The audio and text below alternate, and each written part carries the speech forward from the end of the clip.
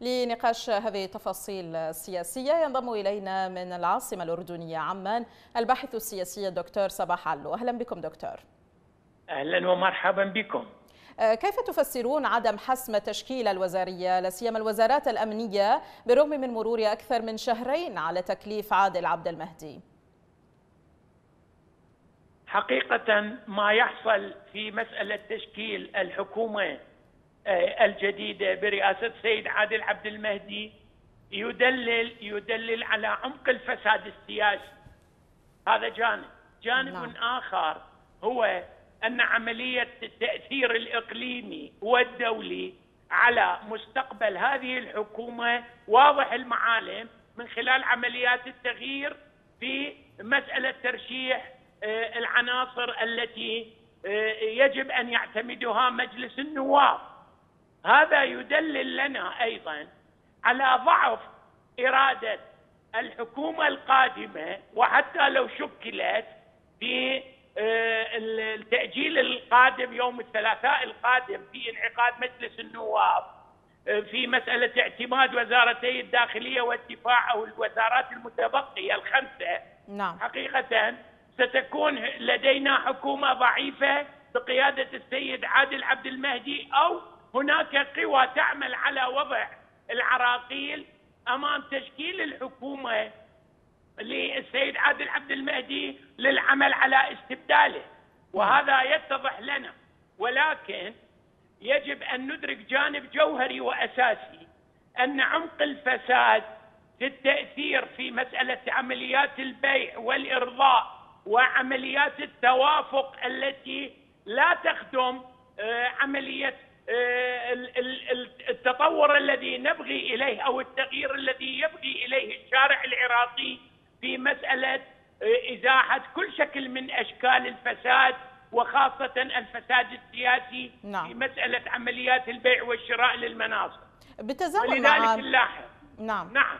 بالتزامن مع هذه الأزمة في تشكيل الحكومة ما خلفيات الصراع القائم آه، آه، حول منصبي محافظ البصرة وبغداد؟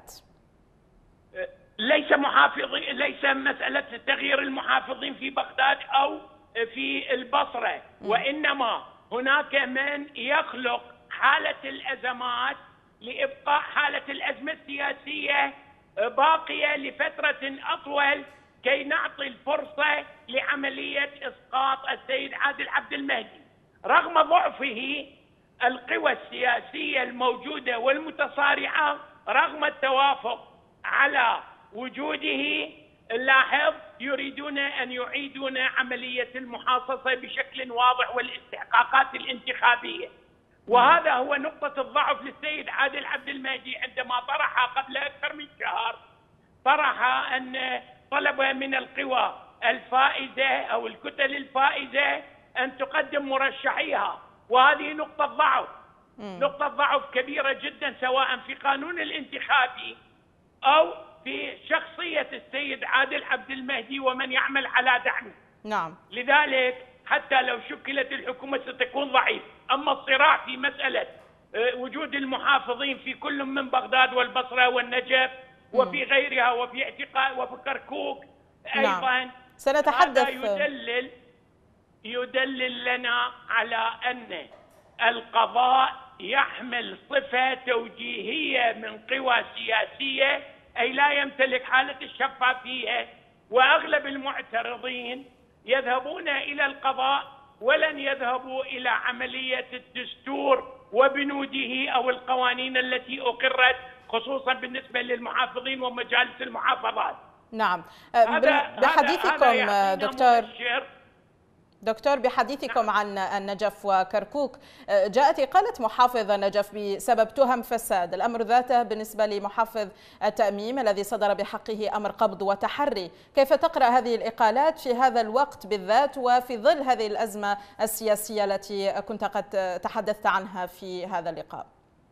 كما نقول حقيقة القوى السياسية المتصارعة في داخل البرلمان تحاول أن تخلق حالة من حالات الأزمات وتريد أن تقول أنه نحن من يقرر تشكيل الحكومة من خلال وجود أزمات جديدة للسيد عادل عبد المهدي قبل استلامه لاستكمال الكابينه الوزارية سواء المحافظات أو غيرها. مسألة الفساد هناك عموم المحافظات عموم المحافظات لا تخلو من فساد إداري ومالي كبير جدا.